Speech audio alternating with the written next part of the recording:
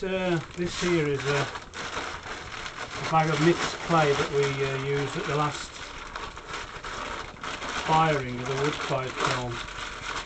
We didn't have any fire clay to make the um, the wadding.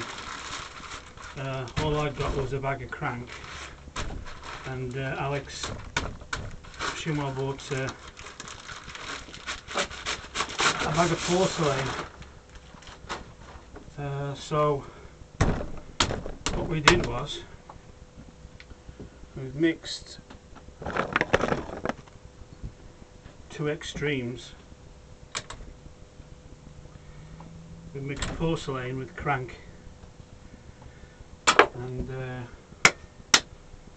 wedged it up on the floor which was very dusty so it's got also the floor impurities in it which might be quite nice to experiment with what we're doing now I'm just going to wedge it up a bit further because it was a bit hit and miss at the last firing interesting to see what uh, how it throws first of all.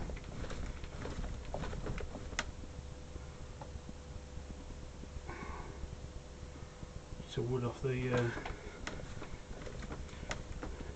wood-fired floor, or the floor outside the wood-fired kiln.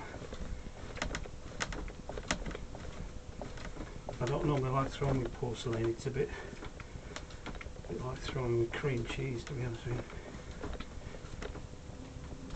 like something with a bit of teeth. And there we have it, that's one piece ready. Out of breath here,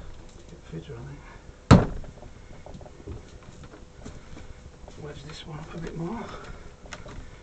Right, when you're wedging clay, or mixing clay, or kneading clay, whatever you want to call it,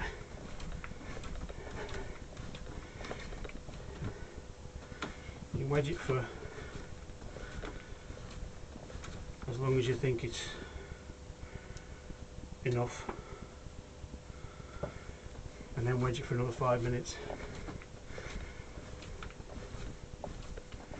and that usually is really enough so I'm going to uh, stop the video in here wedge that for another five minutes boil it up and then we'll have a look at what it's like to throw. Okay.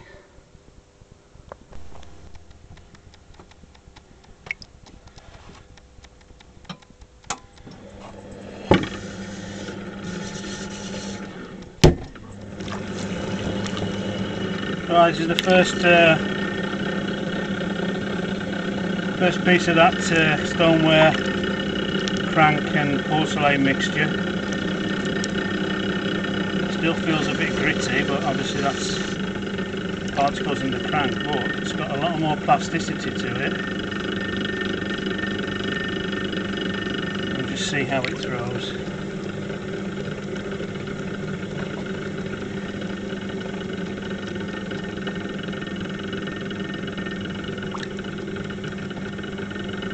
press the base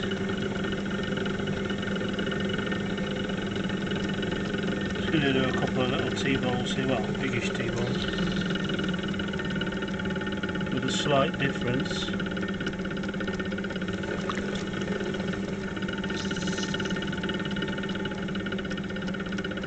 Well, it throws really nicely.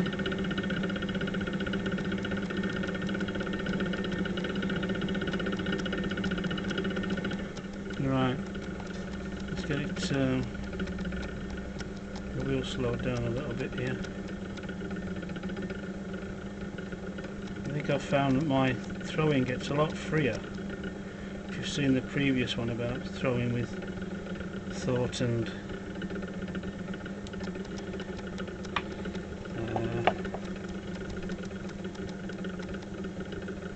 whatever it is, I don't remember, thought and something else.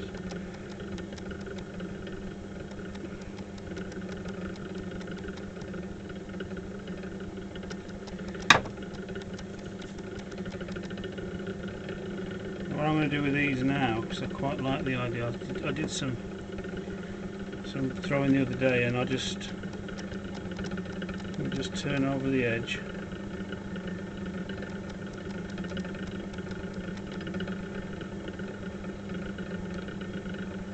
And basically leave it like that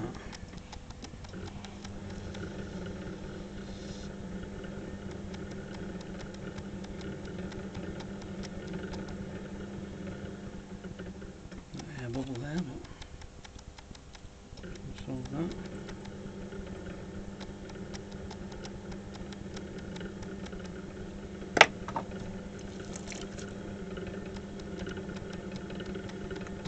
just smooth the rim. The last th uh, bowls I did, I didn't really smooth off the rim too much. Uh, but when the glaze, when it, when it dries out and then when you fire it, the, the edge goes quite rough because it was crank. So um, when the glaze is on it, it, on a couple of the pots it was a bit thin on the edge and it was the, the, the rim was rough so it's not very nice to drink out of. Off a little bit. That's the first one. I've got an idea. We'll be back in a few minutes. I'm going to do this. What I've got here is some shells that we use for firing. That's uh, some kind of limpet. That's an ordinary shell. There's a bit of a shell here with a bigger, a bigger uh, groove on it. I'm just gonna put an impression in there like that. And do the usual.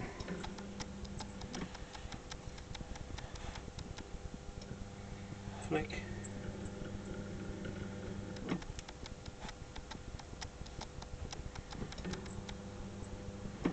There we have it.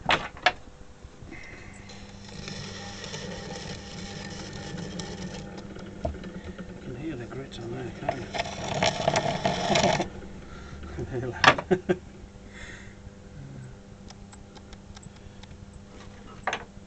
Oh, I had to tidy up today so I can't find anything.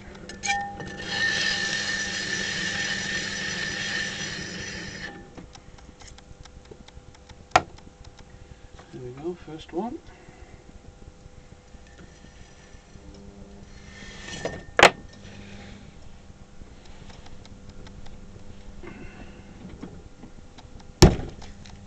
Try another.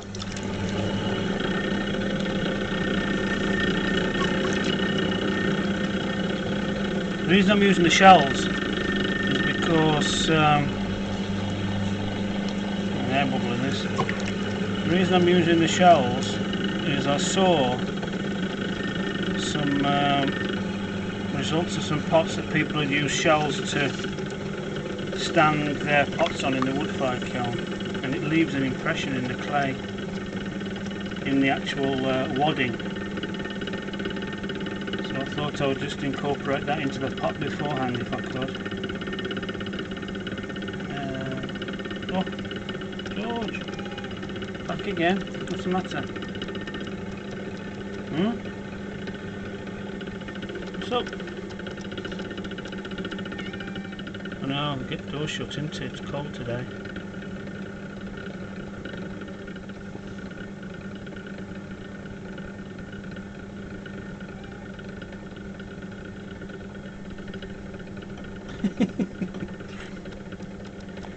George is here. Trying to open the door himself. Open it then. What? What? Open it? Do you want to go out?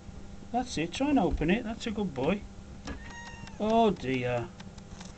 Alright, we'll have to help him, otherwise he'll never leave me alone. Go on. Go on. Don't want to go out now, it's raining. There's a fuss pot. What do I do without him now? To be honest with you, he's a lovely little cat.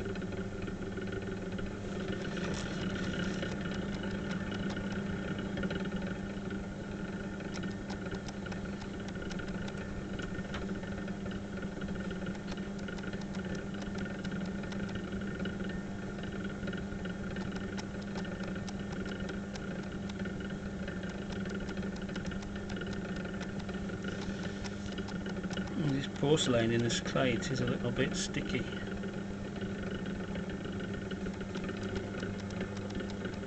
Just get used to it a little bit.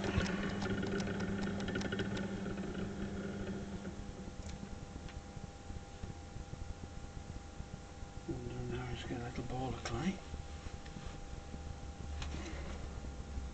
Little pad. Not too precious about it. And then we use the shell. When I'm done with it.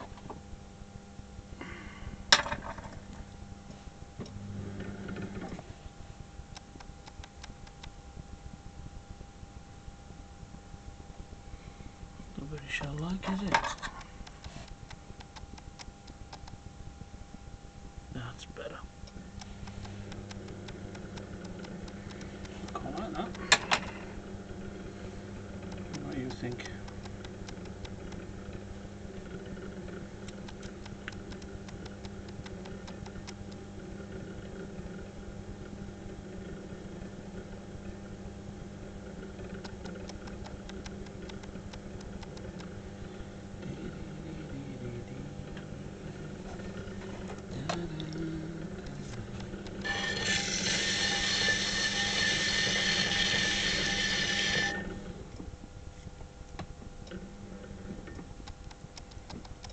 I was going to put a, a line in it, but I think that will detract from it a little bit. Maybe.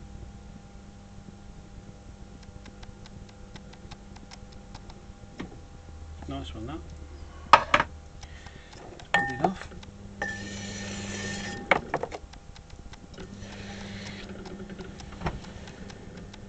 If you notice then, I had the wheel going. If people who uh, have trouble getting their pots off the wheel, Cut it off with a wire and then just have the wheel going slightly and as you put pressure on with your fingers the pot releases itself. It, this the wheel sort of rather than twisting the pot off the wheel and you can deform it if you just hold the pot still and then move the wheel the wheel will twist itself off the pot. Um, do one more. Can always edit it out if it's no good or if it's a bit too long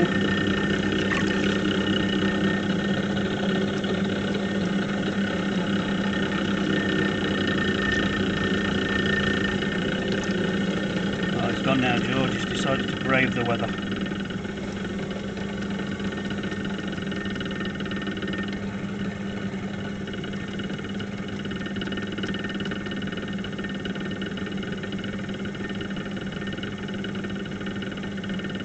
Maybe quite a quite a chunky base on this because I want a nice foot ring on it afterwards.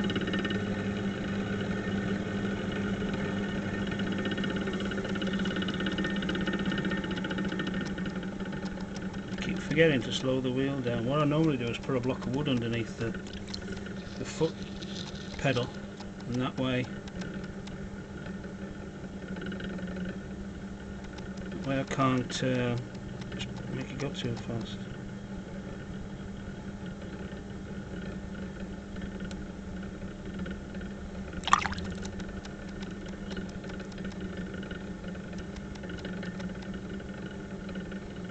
This is dragging here. I've not put so much water on. I've let it drag, and what it does is it tends to uneven the rim intentionally. You can feel it dragging there. You see how the rim's bobbing up and down. It doesn't really matter because what I'm going to do is turn it over like that.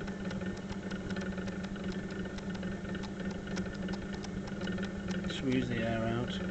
You never trap air inside, even if there is a little bit of air trapped inside, it never blows up if you dry it properly.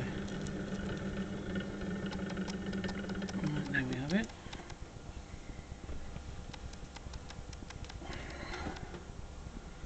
Another little piece of clay. I'm not even going to mix it into a ball. Press it on. Use my use my uh, shell. A bit of detail.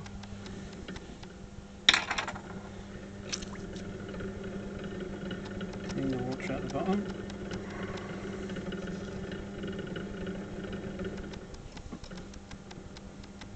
And this time I will put a I will, I will just leave it Less is more, as they say. No good talking about it unless you do it.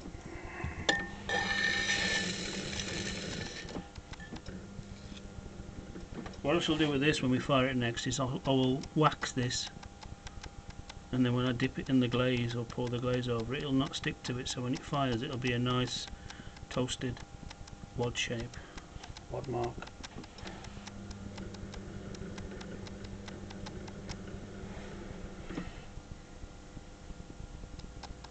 Okay. Right, I'll just show you that uh, lifting off bit again. Nine fingers. So, if the wheel's going and you just grab it you see twists itself off the bottom I'm hardly touching that and it doesn't deform it oh, so there you have it next time